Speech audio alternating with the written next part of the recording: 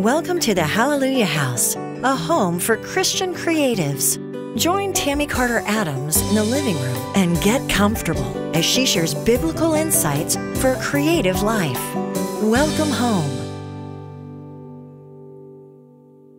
Welcome back to the living room. This is Tammy Carter Adams. And as you get settled in, I hope you have something hot to drink and get comfortable with me. I'd like to take a minute to announce what's been going on over at the house. If you don't know what the house is, it's the Hallelujah House dot com. That's our our website, and there we post blog posts. And last week we have rooms in the on the house and in the kitchen. We posted a healthy pumpkin latte recipe for you guys to enjoy with your family. We also gave you a children's healthy recipe, like with decaf coffee. We made this with our kids um, at our farmhouse one weekend, and um, it was delicious. And it has uses real pumpkin and not artificial flavors and a lot of sugar. So head over there and get that recipe. Uh, there's a printable for you. Um, we're also going to be doing artist roundup soon. So if you're an artist, if you're a Christian artist, and you want to share your work and your testimony, um, and it doesn't have to be religious themed art as long as it's you know it goes along with our our Christian faith, and it's not anything that's got a worldview.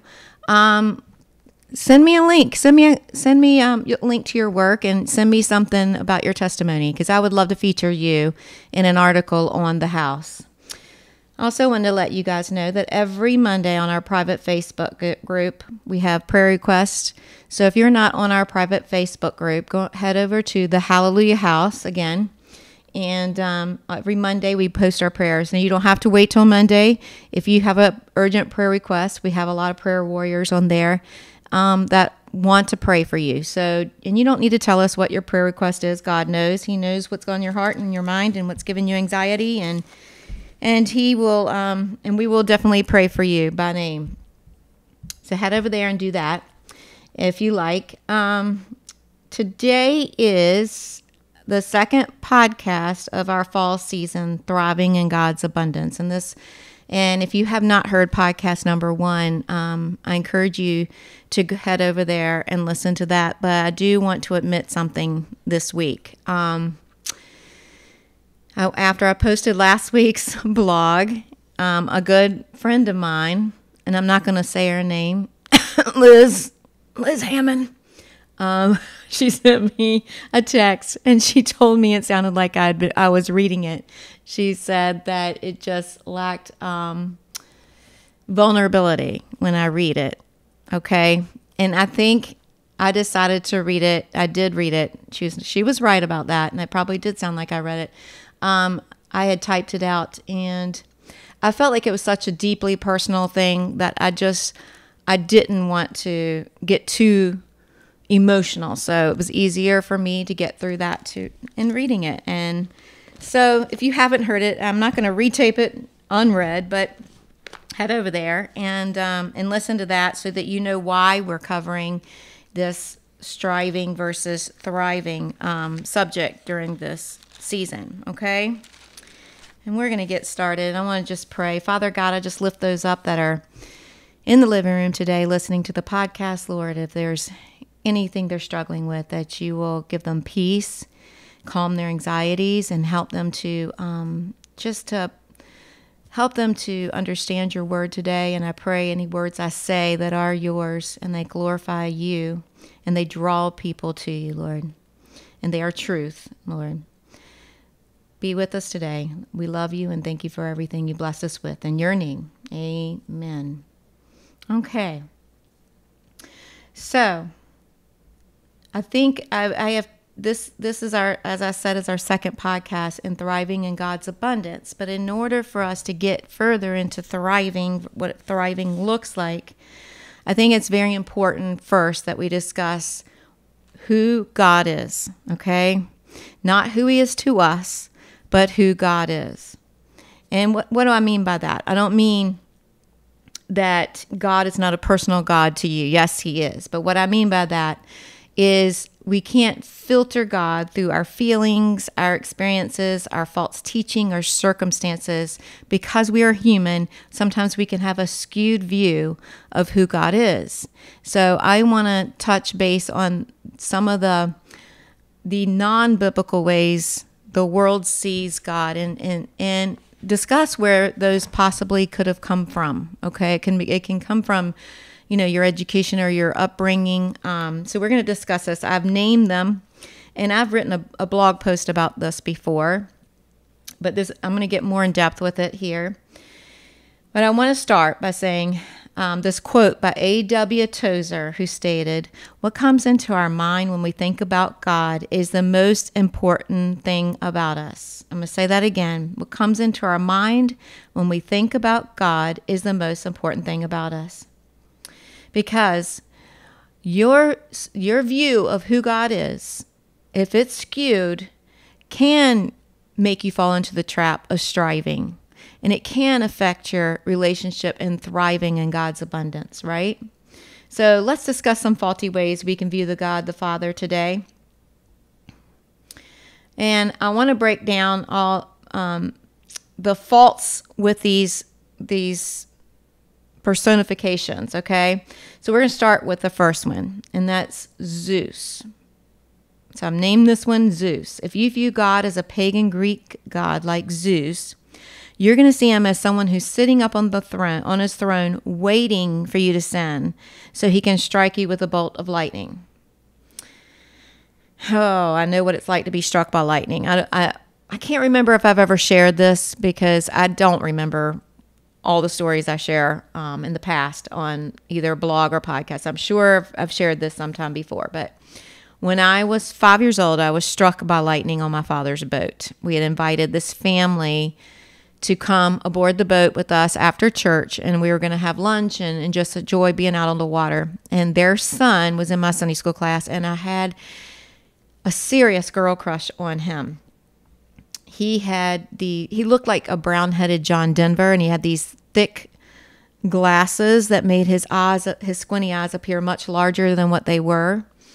And I was crushing to the point I had butterflies in my tummy. I'd try to sit with him right next to him every Sunday school class. And so, of course, I put myself right beside him on the boat and I was sitting um, by the where the water was spraying and we were on the bench together and I was leaning over the side and putting my hand in the water and I kept looking back to make sure he's watching because I was trying to impress him. And um, and he's just smiling and then this storm cloud came over the boat. It was summertime, hot summer. A lightning came down, struck the crab pot that was beside our boat, bounced off the metal and it grounded itself in my arm. And it was painful, painful. And I just I never I don't I don't think I've ever seen my father that scared. He he grabbed us all, put us all in the little um, cabin area of the boat. And let me just say, the next Sunday, I sat as far away from that boy as as I could possibly get because I honestly believe God struck me by lightning for flirting. And I hung on to that leaf, that, that leaf, that leaf. It's fall, that belief for a long time after. Okay? So if you're like me and you've gone through a period of your life viewing God as Zeus, you may been a, have raised you may have been raised in a legalistic church environment, home life, or even a Christian school where little grace was given. Um, typically, in a legalistic home life, you would see that mistakes are punished from a place of anger, not love. And you know possibly your bad behavior was brought up after you know there wasn't much forgiveness there and you and it was hung over your head and it was brought up at the family dinners and and kind of re, you were reminded of those mistakes that you've made so that you don't do it again right? You may have had a um, home life also where your affection was doled out in response to good behavior and performance. So you earned good grades and you've got that pat on the head whenever you earn good grades. And this would in turn teach you that you have to earn love, right? It's not unconditional, you would have to earn it. So some people that have been raised in this home life may have gotten this idea of God that he is he is sitting up there just waiting for you to screw up or He's only going to give you love when you earn it. And, and you can see how this can turn into a striving situation, right? A striving lifestyle to earn God's favor. But here's the truth this totally goes against the gospel. Um, your goodness will never earn salvation, God's love, or his favor. Thomas Watson said, God does not justify us because we are worthy, but justifying us makes us worthy. I believe there's lots of false teaching that, that kind of coincides with this view of God. And you can see that in Mormonism and Jehovah Witnesses and other religious movements that kind of they're outside of gra- they're outside of grace and they fall prey to this. They believe that they do this, this, and this. If any religion tells you you have to do this, this, and this, and this in order to receive God's love or or God's salvation, and it's not a free gift, then you need to run, run, because that goes totally against the gospel of Jesus Christ. I remember as a teen, a young boy. I say Jehovah Witness because I had a I had a young boy and a, and an elderly gentleman ring my doorbell as a teenager. And when I told them I wasn't interested in their message because I knew who they were, my parents had warned me: if a Jehovah Witness comes to the door, you do not let them in the house. You do not.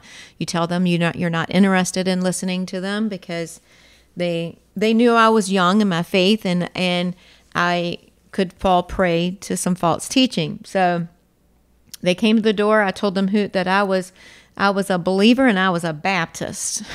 so the man lifted his head haughtily, haughtily uh, you know, very prideful, and he stated, "Well, what does John 3:16 say? You Baptists do not follow John 3:16." And I kind of looked at him like, "What are you talking about?"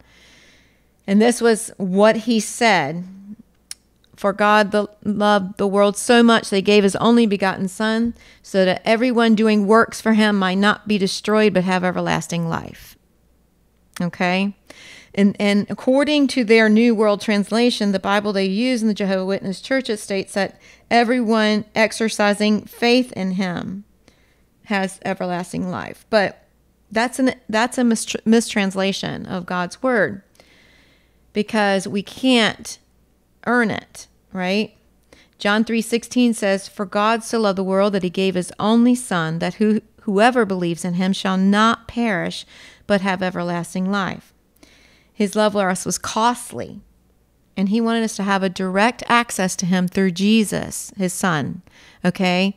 And through Jesus, if you if we once we believe in Jesus, you believe that Jesus is God, right? And he took on the sins, your sins on that cross, and he claimed it is finished. He has completed it. Then you're going to receive you receive the Holy Spirit, and that is your communication. He communicates from the Father what he wants you to know. God's, we can't understand the language of the Father. So basically, He's kind of our translator and He's with us. He is the gift, okay? He is the Spirit of truth. And it's through Jesus that we have this communication through His death on that cross, okay, and His resurrection. Okay, so I did tell that boy, young boy, I did look at him and tell him the the correct version of John 3:16. And I could see the man was getting angry with me as I was, you know, telling him, thank goodness they picked a verse that a teenager would a young teenager would know because I had very limited verses that I had mem- put in memorization at the time. So I'm so thankful that I knew that one that I could I could tell him and I told him, "Please go get yourself a, a, a, different translation Bible because obviously I didn't even know they had their own translation. I said, obviously, this is your translation is screwed, screwed up. So, all right. So Paul points out that it's not by our works that we're counted as righteous, but by our faith. So if you're struggling in this area, there is a chapter I think that you should meditate over and read and just really ask, pray, and ask God to help you understand the concept of grace, okay, the God in the gospel message, and that's Romans 4. Okay, and pray that God re- releases you from that mindset that you have to strive and strive and strive to earn his favor. I shared last podcast that I got stuck in a striving mentality from survivor guilt, okay? And that can happen. It can anything can trigger you to to land on the striving. And you know, and God has sent me, God kept talking to me about striving, but I kept pushing it away. But I'm not going to go back into that. I want you to go back and listen to that if you haven't. Okay. And it's a good example of, and I, and I also show you different examples of other things that can get us into the striving mindset. There's another passage I want to point out is for I am sure that neither death nor life, nor angels, nor rulers, nor things present, nor things to come, nor powers, nor height, nor depth, nor anything else in all creation will be able to separate us from the love of God in Christ Jesus our Lord. That's Romans 8:38. And that includes any mistakes you've made, okay? God loves you. He is he there's nothing that can make him love you anymore. Okay? And he desires a deep personal relationship with you. It does not mean, this does not mean that he doesn't discipline on the flip side of this. He does discipline us because he and, he, and he states in his word that he disciplines those he loves. So if you're being disciplined right now because of so, you've fallen into a sin pattern or you become prideful or, you know, anything, you know, understand this that that is his love for you. Just like a, a child to a father, a father to a child, right? All right, let's move on. Another way we can see God, the second way we can fall trap in, in, in a skewed view of way we can see God is by, and I'm going to title this Alexa. If you see the Father as Alexa, you tend to expect a cherry on top kind of life if you follow God. And you may just get that cherry and because you know, if it's his will for you to have a cherry on top kind of life, I think we all have some of that in our life. But we also go through some some tr- tragedies, we go through some heartache, we go through some hardships, and it's in those things that that God builds our faith, right? He uses these as a tool to build your faith up. I believe in this type of life, there's a tendency here not to recognize things like self indulgence, materialism, love of money, and pride of life as a sin. Instead, we look at these things as blessings. Okay? this group swings so much towards grace that there's a tendency to take advantage of God's grace. It's kind of a, think about this it's a name it and claim it. It's kind of you put your coins in, and you think God should bless you with whatever you're asking Him for. And I think that this leaves little room for God's will. Okay, any not everything we ask for we're going to get. Sometimes the answer is no, and a lot of times that's to protect us. Okay, sometimes it's you know I don't know why there there are times where God says no to us, right? But we need to just accept that He knows what He's doing and rest I mean, we should, if you have true faith in God, that no is a blessing. And you're going to praise Him through the nose. Okay? I praise you, Lord, that you saved me from that, the thing I thought I wanted, right? This group leans, they tend to like the prosperity doctrine church. Think of think about Joel Osteen. Why has Joel Osteen become so popular today? People are attracted to his teaching because he doesn't discuss topics like confession of sin or hell. He tends to be a positivity pastor, speaking only about the positivity of grace, okay? But there's more facets to God's character, a lot more, many more facets to God's character than than just the positive, um, what we view as positive. Okay, that God's jealous. Okay, he's he's he has a, a righteous jealousy. Okay, he um his judge he's a judge, right? His judgment, his holiness, his wrath, all of that is part of God's character. And we as followers of Christ need to come before the Father with a humble, repentant heart, continually checking in with Him You know, so if we know we've done something that mourned the Holy Spirit inside of you, and you feel that conviction, that little angst inside of you, go to the Father and tell him, I am so sorry, and turn away from that thing and repent and move forward and and walk away from it that sin and don't do it anymore. Repenting is not just confessing it but it's also turning away from that thing that you're repenting of I think here there was a shift in parenting when I was bringing up my boys. I remember this so clearly, and I felt like I was kind of like the oddball mom that wasn't raising my boys where every little thing they did, I was praising them. I just thought that was just, to me, that just was so weird. I was raised, you know, my butt got beat. I'm just going to say it, okay? And, um, and I'm not, I am not against spanking, but there was a, like this positivity thing where it was on the extreme from span, from dis, disciplining, it was almost like they were over, these kids were overly praised for every little thing they did. I remember I had a neighbor and I was standing in the yard and her daughter loved doing cartwheels and her and I would be talking and she would shush me mid sentence. Oh, hold on. Hold on, Tammy. Yes, that that 50th cartwheel was so much better than the 49th you just did. And I thought it was so weird. I'm like, oh my goodness, what what kind of adult is this child going to grow up to be? She's going to go into the world and expect everyone's going to praise every little thing she does. I imagine she praised her for going to the potty all through her elementary school years. But maybe that's a little extreme, but that was kind of what it was like um, in this extreme positivity. Okay. They were so concerned about their child's self esteem. Now, what happens is they get out in the world, they realize that they are not the center of attention all the time. They're, that that they're not getting praised by their bosses or by their professors or by their teachers for every little thing that they do. And they seem to become very fragile adults and they and they can be crushed, okay?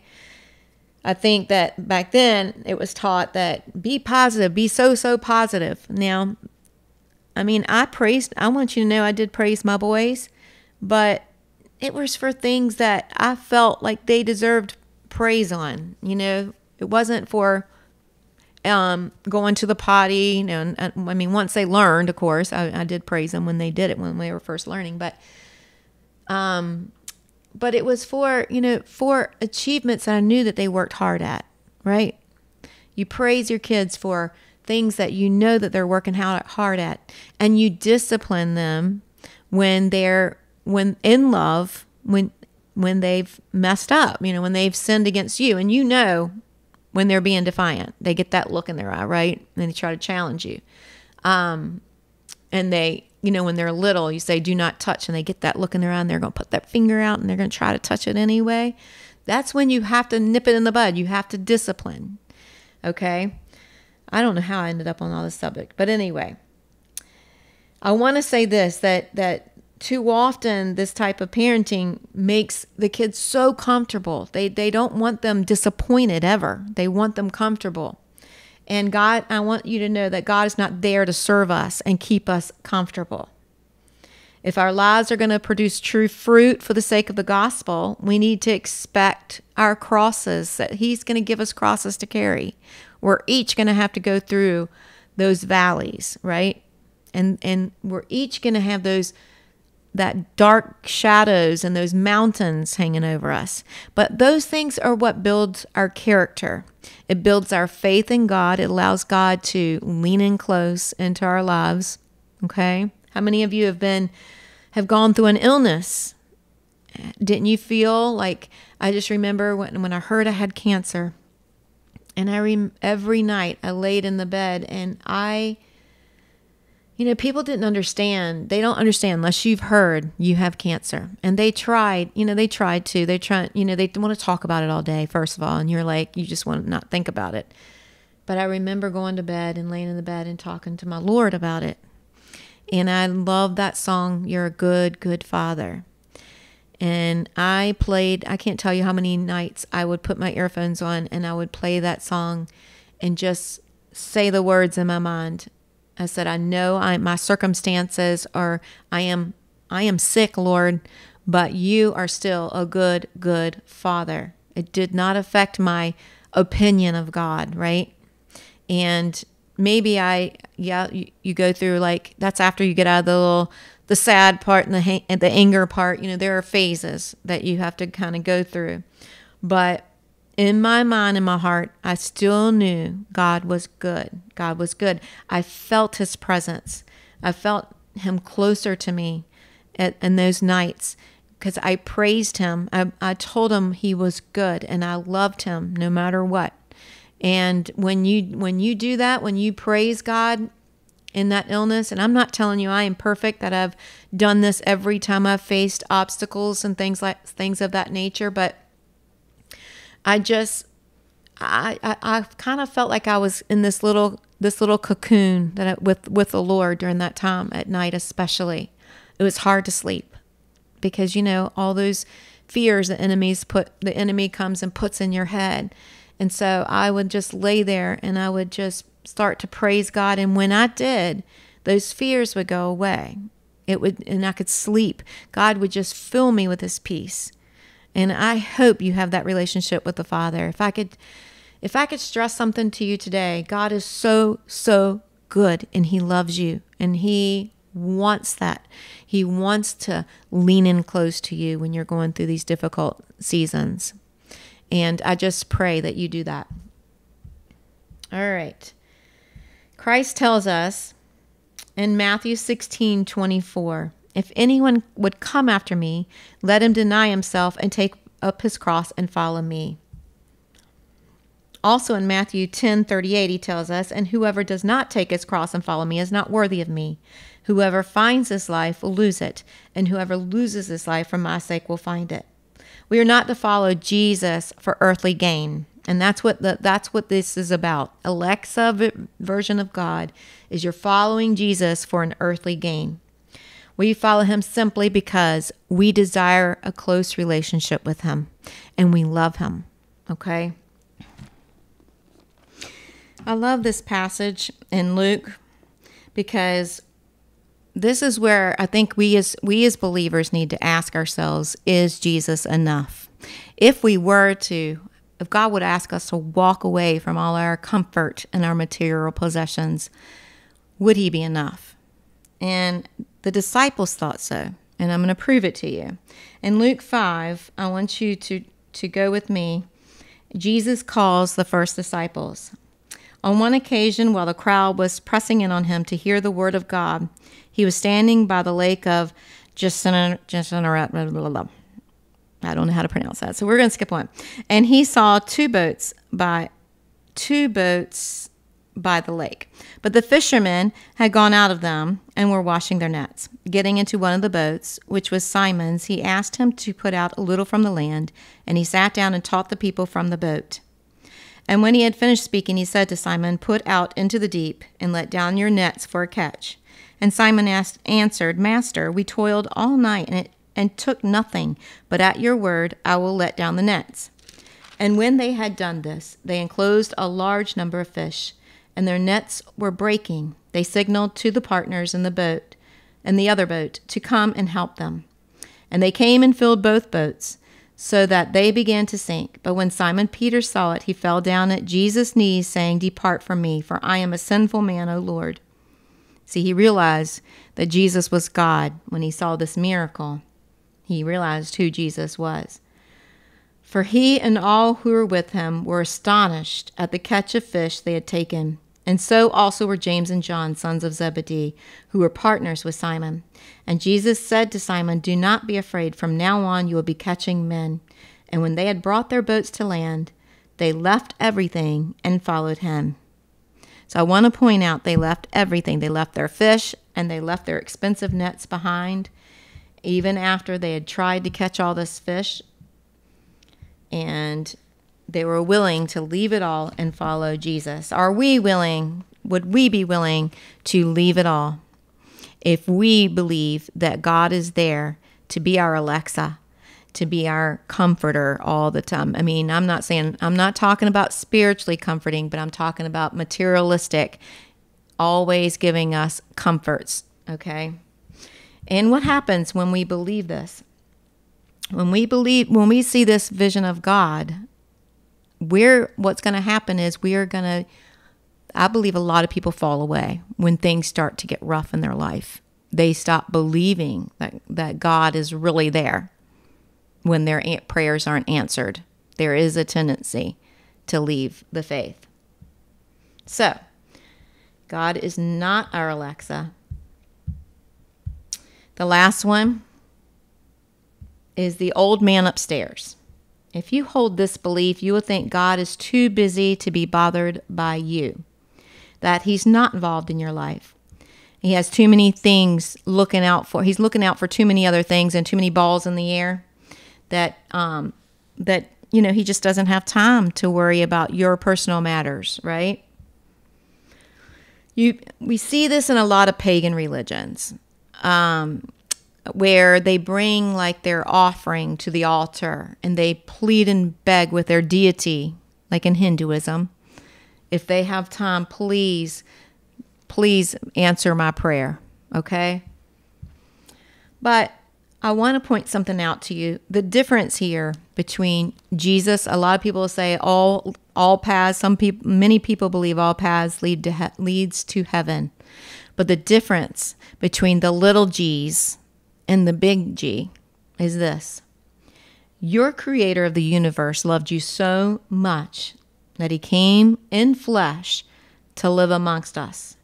He learned what it was like to be hungry he learned what it was like to be sad, feel pain. He learned what it was like to be tired, feel rejection, humiliation. He was tortured and killed. What other little g has done this for you? For those that might be listening in, that could be, you know, following Hinduism or, you know, I had a friend that worshiped all three. She would she had altars to everything and I've talked about her before and she ended up coming to know the true God of the universe Jesus through Jesus Christ. She ended up accepting Jesus as her personal savior and following Jesus and believing in Jesus Christ. And I'll tell you why she became a believer in Jesus Christ because it hit her that God had been call- drawing her to him. There was a time where she was you know, she had brain cancer and she was driving herself to go to the grocery store while under chemotherapy treatment for this brain cancer. And she said she was going towards the grocery store and there was a, all these cars pulling into a parking lot. And I'll never forget the story. This I think this is so powerful. And this is a person that was whose father was Muslim, mother Catholic, and um, and she was she had a lot of family members who were Hindus. Okay, so she was exposed to everything, and she prayed to every single god and believed all paths led, led to heaven. Okay, but this particular day, she's driving to go to the grocery store, and the wheel in her hands, the, the, the automobile wheel turned into a parking lot. She said it was if it just turned under my hands, in my hands and in it, my car just parked and I sat I sat she sat in the car wondering what in the world just happened and why am I here? And then people were getting out of their cars and walking into a building. So she decided to follow. She follows the crowd in and sure enough, she's sitting in a church. Okay? And so she said, I didn't understand what the pastor was speaking about but she sure loved the music. And God drew her to him through that music. And so the next Sunday she went again. The next Sunday she went again. But she didn't understand the message of Jesus and salvation until she came into my home and began working, um, taking care of my baby for me. And, and I, I led her to the Lord, basically, speaking to her about the, the gospel message. Okay and she ended up turning away from the little G's and and accepting the father who had been drawing her to him. Isn't that amazing? Isn't that amazing? So maybe you've had some experiences in your life. Somebody has said something to you about Jesus and you've kind of pushed it away. I that is God bring and inviting you to him. And I hope that you will reconsider. The word of the Lord tells us he knows how many hairs are on your head. He knows you by name. He knows your heart and your thoughts. Here's another one. For the eyes of the Lord run to and fro throughout the whole earth to give support to those whose heart is blameless toward him. Second Chronicles 16 9. The heart of man plans his way, but the Lord establishes his steps. Proverbs 16 9. God desires a relationship with you and me, personal, a personal relationship. He wants you to tell him about your day. He is not one that's the old man upstairs who just don't have time for you. Okay? So I hope that you will um, take time, spend time in His Word, spend time praying to the Lord. Stop neglecting your relationship. Sometimes I'll be honest, I've got to remind myself, although I serve a great God who's omniscient, omnipotent, and omnipresent, that his desire from the beginning of creation was to walk in the garden alongside us. He wanted that perfect relationship with us. You know, of course, we know how the story went. Sin came into the world and kind of broke, um, put a veil between me and God. But Jesus was the perfect sacrifice, of course. His son, Jesus, takes on the sin of the world. Jesus is God in flesh. There are three parts to God God the Father, God the Son is Jesus, God the Holy Spirit. We know this to be true. And Jesus took on the sins. And he was, because it required a blood sacrifice, so all of our sins can be placed on that cross. And we have to accept that gift of, of grace, the gift of salvation. Have you accepted it? Have you accepted it? Do you believe in the power of the cross? You know, I, I believe, firmly believe that if you have this view of God, that maybe your parents were disinterested in your life, that you were kind of, they were preoccupied. You, you weren't given a lot of attention or affection, and um, you had to seek the attention of your parents, maybe. Or you, you didn't have parents growing up. Maybe, maybe you were passed around um, in like foster in a foster care situation. Vanessa, this girl I'm telling you the story about, she was passed around in a in a foster care situation. But here's the truth. The Lord is near to all who call on him, to all who call on him in truth. Psalms 145, 18. Now, who is truth? Jesus is truth. Here's another one. He heals the brokenhearted and binds up their wounds. Psalms 147 3. So if you're believing that God is not interested in your life, that He's just the old man upstairs, looking over the whole world and just juggling things and trying to keep everything in working order, then I encourage you to read the book of Psalms and journal each time in, in the verses where the Lord talks, shows His love for you Journal all the verses that you see in ways that the Lord shows his love for you, like those two examples I just shared here. He heals the brokenhearted, he binds up their wounds. So we've come to the correct way of seeing God. And I've said it throughout this whole teaching. I keep referring to God as the Father, Abba, Father. If you see him as your Father, a good, good father, then you're going to be respectful. Okay? You're going to be relational. You're going to see him that he disciplines, he gives good gifts, he rejoices over our successes. He loves us with a perfect love. A good father sacrifices on behalf of his children, and much, much more. And I believe the best illustration that Jesus gives us for Abba, Father, is in the story of the prodigal son. And we're going to read that right now. And we're going to close with this story. So let's turn to Luke 15. And it starts in verse 11. The parable of the prodigal son. There was a man who had two sons, and the youngest of them said to his father, Father, give me the share of property that is coming to me.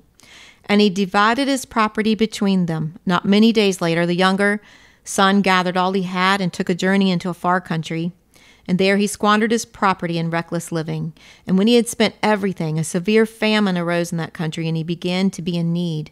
So he went and hired himself out to one of the citizens of that country, who sent him into his fields to feed pigs.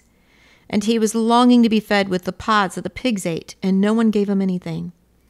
But when he came to himself, he said, How many of the Father's hired servants have more than enough bread, but I perish here with hunger? I will arise and go to my father, and I will say to him, Father, I have sinned against heaven and before you. I am no longer worthy to be called your son. Treat me as one of your hired servants. And he arose and came to his father. But while he was still a long way off, his father saw him and felt compassion and ran and embraced him and kissed him. And the son said to him, Father, I have sinned against heaven and before you. I am no longer worthy to be called your son. But the father said to his servants, Bring quickly the best robe and put it on him, and put a ring on his hand and shoes on his feet. And bring the fattened calf and kill it, and let us eat and celebrate. For this my son was dead and is alive again. He was lost and is found. And they began to celebrate. Now his older son was in the field. All right, I'm going to not go into the older son's part um, I am going to link though one of our older blog posts that we have posted about the prod, the older son. I will link that. It was written by a really good article that was written by one of our um, our male writers that we had at one time on the Hallelujah House, um, and he has written a book too. So I might even link his book in there. Now, I want you to see this this son disrespected his father by asking for the inheritance before the man even died. Can you imagine your son coming to you and saying, Hey, I want my money before you die? Okay. And he just, and, and what did the father do? He gave it to him. Sometimes God gives us things that we ask for, knowing that we are going to have to suffer the consequences of asking for that thing. Okay and um, he sometimes he allows us to have it because he gives us free will, right? So sure, the son takes the money and squanders it away on party and lifestyle and women and all what he whatever he was spending his money on and frivolously, and ends up serving the pigs. He's he's dirty and he's covered in sin. Okay, that's what I want you to see here. He's covered in sin, and he decides that you know, I have sinned against my father. I'm going to go home because my servants, the servants that used to serve my father, he, they made they had better food and living conditions than I'm ha- than I have here living with the pigs. So he goes home and he's walking up the path. I want you to picture the father looking out the window. He's looking. He's been he's always looking down that dirt lane waiting for that son to return because he knows he's going to come back one day. And when he sees him afar off, he runs to greet him. And he covers him with a robe and hugs him. And he's rejoice he's rejoicing that he's returned, okay? And he feeds him. He feeds him good food. Puts a ring on his hand. All right? And that and that's what God does for us. He covers us, covers our sinful nature with his righteousness. That's why Jesus died. He cover he covers our sins. So God sees us as our, as his child. We are his child. If if you're a believer in Jesus Christ, you are his child. And he looks expectantly when we when we veer off into sin, which we sometimes do but you never stop being his child. You never stop being his child. But he rejoices when you return. And he covers your sin. This all the sins that you commit while even while you're out there. But when you come back and repent, he is rejoicing, okay? All right, so I hope that you understand how we should view God as our Father. And I, I want to um, I want us to all get that straight in our minds and our hearts today. He is Abba Father, a good, good Father. All right, I'm going to close this in prayer. I think that's all I have for you today. All right. Thank you for joining me. Thank you, Father, for those that are listening, Lord Jesus. And I just pray if any of them are going through any situation, Lord, that you will draw them back to you, Lord, and give them peace. Fill them with your peace. Let them know that you love them. Help them to feel your love, Lord Jesus. If they are viewing you as any of the faulty ways that they view you, I pray, Lord, that they will come to you and that they will ask for revelation and that you will reveal to them the truth of your word and help them to get into the word, Lord. Help us all to stay in the word. I pray for them um, to go and have and have blessings, Lord, in their life. The blessings and, and their fruit grow, the fruit of the Spirit, love, joy, peace, long suffering, kindness, goodness, mercy. All of it, Lord. That help them to have that your abundance. We love you and we thank you most of all for dying on the cross and surrendering your life for our sins, Lord. In your name. Jesus. Amen. All right. That is all I have for you today, and I hope, I hope and pray that um, that this has helped you. I do. Um, remember, we are bi-weekly, so I will see you in two weeks.